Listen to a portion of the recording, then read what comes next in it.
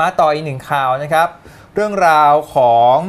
ความสำคัญของอัลตราซาวด์นะครับมีข่าวอันนี้มาครับว่ามีหญิงสาวชาวอินเดียนะครับก็ตั้งครรภ์แต่ว่าไม่มีเงินที่จะไปอัลตราซาวด์ระหว่างค่ะที่ตั้งครรภ์อยู่ ปรากฏว่าพอคลอดลูกออกมา เด็กที่ออกมากลายเป็นเด็กเงือกไม่รู้เพศนะครับ ซึ่งเรื่องราวนี้เปิดเผยจากเว็บไซต์ Daily Mail นะครับคุณแม่ชาวอินเดียเนี่ยให้กำเนิดทารกออกมา ลักษณะอย่างที่เห็นในภาพเลย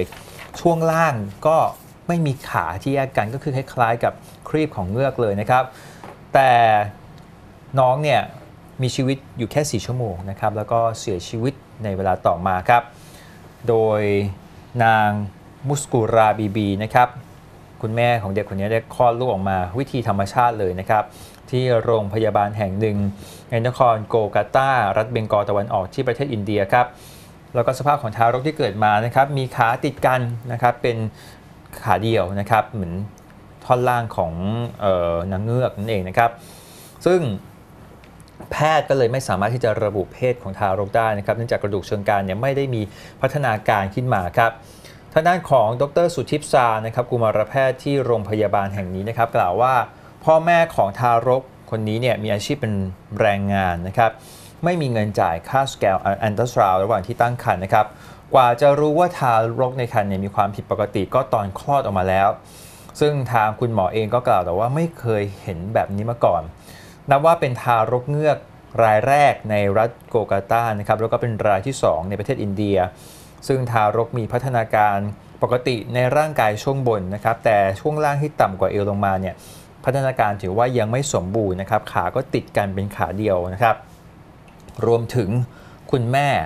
ขาดสารอาหารที่เหมาะสมนะครับแล้วก็เลือดไปไหลเวียนได้ไม่ดีทำให้ทารกในครรภ์เนี่ยมีความผิดปกตินะครับแล้วก็เป็นเรื่องที่น่าเศร้าว่าสุดท้ายหนูน้อยคนนี้ก็ไม่สามารถที่จะมีชีวิตรอดอยู่ได้นะครับอืมคนเราไม่ค่อยเห็นอะไรแบบนี้นะครับค่ะอาการทารกเงือกเนี่ยนะครับมันคืออะไรแล้วว่าความ ความเสี่ยงที่จะเกิดขึ้นมีมากน้อยแค่ไหนครับค่ะก็ในเรื่องของทารกเงือกนะคะ หรือว่าทางการแพทย์เนี่ยเรียกว่า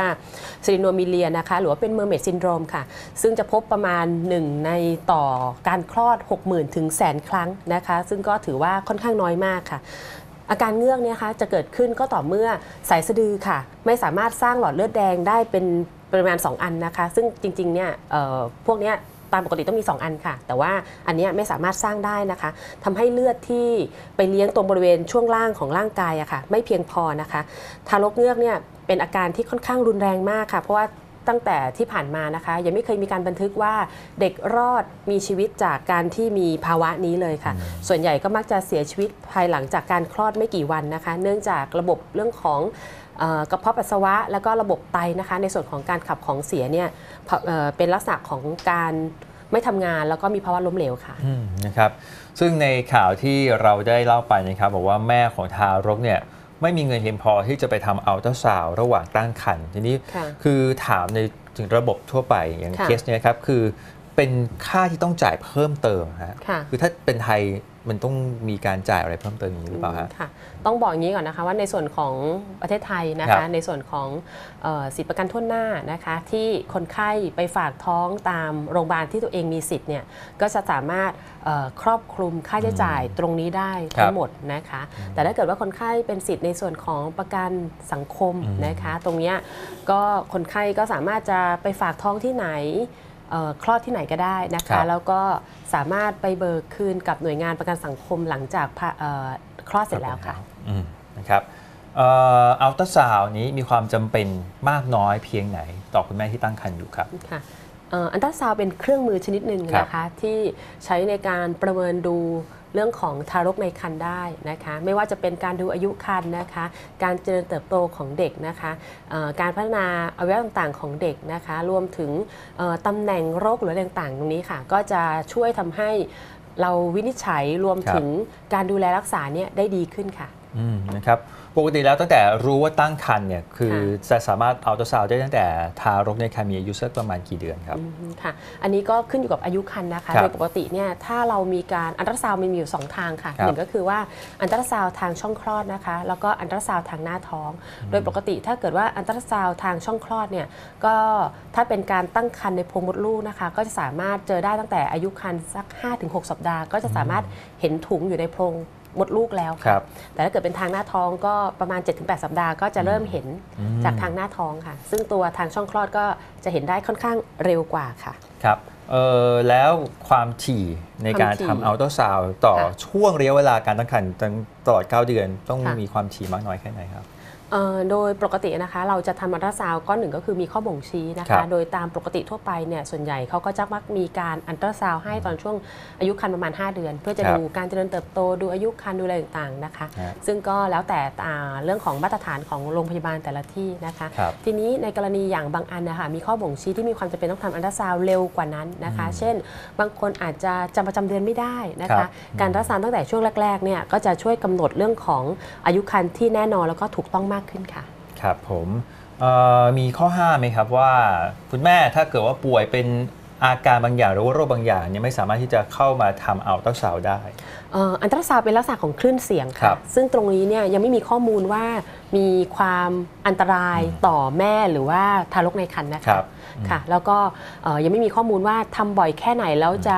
มีผลอันตรายกับน้องค่ะอ่าก็คือตอนเนี้ยก็ถือว่าค่อนข้างปลอดภัยค่ะครับเพราะว่ามันเป็นลักษณะของคลื่นเสียงที่ไปตกกระทบแล้วก็สะท้อนออกมาเป็นภาพให้เราเห็นค่ะอ่านะครับแล้วในปัจจุบันนี้มีวิธีอื่นๆไหมครับที่จะสามารถตรวจความผิดปกติหรือว่าตรวจพัฒนาการของเด็กที่อยู่ในครรภ์ได้ ถ้าเป็นพูดถึงในส่วนของการดูรูปนะครัคะบการดูรูปต่างๆเนี่ยอัลตราซาวด์เป็นตัวที่หนึ่งก็คือเป็นตัวที่เอ่อ ใช้ง่ายนะคะ ค่อนข้างปลอดภัยนะคะ ราคาไม่แพงแล้วก็ที่สำคัญก็คือไม่มีผลกระทบกับน้องเนื่องจากว่าเป็นคลื่นเสียง ไม่ได้มีลักษณะที่จำเป็นต้องเออสัมผัสกับพวกสารรังสีอะไรต่างๆนะคะครับซึ่งมันก็สามารถสร้างภาพให้เห็นเด็กอะไรอย่างนี้ได้เหมือนกัน แต่ว่าเด็กก็จะได้รับผลกระทบเรื่องของรังสีเช่นกันค่ะ เพราะฉะนั้นอัลตราซาวด์ก็เป็นเครื่องมือที่ค่อนข้างสะดวกปลอดภัย แล้วก็ใช้กันอย่างแพร่หลายค่ะ ครับผม แล้วเกิดว่าถ้าไปอัลตราซาวด์แล้ว เห็นว่ามีความผิดปกติของเด็กในครรภ์ค่ะนี่ว่าแนวทางที่มันจะเกิดขึ้นคุณหมอจะคุยกับคุณแม่ยังไงบ้างครับค่ะโดยปกติเนี่ยเอ่อเวลาเราอัลตราซาวด์ใช่ไหมคะเราก็จะดูลักษณะการเจริญเติบโตของเด็กต่างๆ รวมถึงการ เอ่อเจริญของอวัยวะต่างๆ ร่วมด้วยนะครัคะบ เอ่อทีนี้ต้องมาแบ่งค่ะว่าความผิดปกติของเด็กที่อยู่ในครรภ์เนี่ยมันรุนแรงมากน้อยแค่ไหน ถ้าความผิดปกติอันนั้นไม่ได้รุนแรงทำให้มีผลต่อ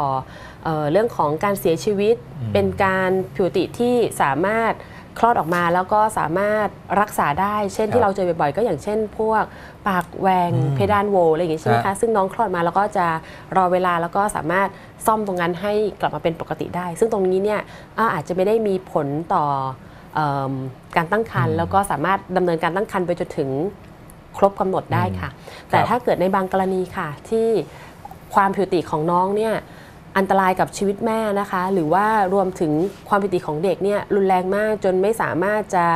ดูแลให้การรักษาได้หรือว่าเอิ่มเป็นความปกติอย่างเช่นพวกโครโมโซมที่มีผลต่ออวัยวะต่างๆหลาย ๆ อันนะคะ เช่นที่เราได้ยินบ่อย ๆ ก็อย่างเช่น พวกโครโมโซมคู่ที่ 21 เรื่องของดาวน์ซินโดรมอะไรอย่างเงี้ยครับค่ะ ส่วนใหญ่ก็เขาก็จะคุณหมอก็จะมีการคุยกับคุณพ่อคุณแม่นะคะ แล้วก็ แล้วแต่ความสมัครใจของคุณพ่อคุณแม่ค่ะว่าเอิ่มอยากจะดำเนินการตั้งครรภ์ต่อ หรือว่าอยากจะยุติการตั้งครรภ์ค่ะอืมนะครับเมื่อกี้เห็นอาจารย์อุ้มบอกว่าเรื่องของปากแหว่งเพดานโหวคือ สามารถที่จะรู้ได้ตั้งแต่อยู่ในอ๋อครรภ์ใช่เลยเหรอค่ะรับเพราะว่าเวลาอันตราซาวด์เดี๋ยวนี้เนี่ยค่อนข้างวิธีการไปค่อนข้างดีมากนะครัคะบเราสามารถดูอวัยวะต่างๆของน้องตั้งแต่รูปร่างภายนอกอืมเรื่องของเอิ่ม ตำแหน่งแต่ละส่วนของสมองนะครัคะ บเรื่องของหัวใจเรื่องของลำไส้เนี่ยค่ะ คือเขาก็จะอืมเอิ่มเป็นการตรวจคัดกรองตอนช่วงอายุครรภ์ประมาณ 5 เดือนค่ะ ครับ แล้วก็รวมถึงภาวะอื่นๆด้วย อย่างเช่นออทิสติก ดาวน์ซินโดรมอันนี้สามารถที่จะรู้ได้จากการอัลตราซาวด์ด้วยหรือถ้าเปล่าเป็นคออรับทิสติกอาจจะไม่ได้ค่ะครับแต่ว่าในส่วนของเอ่อลักษณะบางอย่างของฮะพวกโครโมโซมที่ผิดปกติอะค่ะครับเช่น เรื่องของโครโมโซมคู่ที่ 13 คู่ที่ 18 คู่ที่ 21 นะคะฮะซึ่งพวกนี้เนี่ยจะมีลักษณะทางกายบางอย่างที่ทำให้สงสัยอะไรอย่างเงี้ยค่ะ แล้วก็เขาอาจจะมีการตรวจโครโมโซมเพิ่มเติมเพื่อช่วยยืนยันด้วยค่ะอะนะครับก็ถ้าเป็นที่ประเทศไทยเองจริงคุณแม่ก็คลายกังวลได้เลย เพราะว่าน่าจะไม่มีเคสที่ไม่ไม่สามารถอัลตราซาวด์ได้เพราะว่า มีรายได้ไม่เพียงพอค่ะใช่ไหมครับเพราะว่าเราก็มีระบบสุขภาพพื้นฐานที่จะ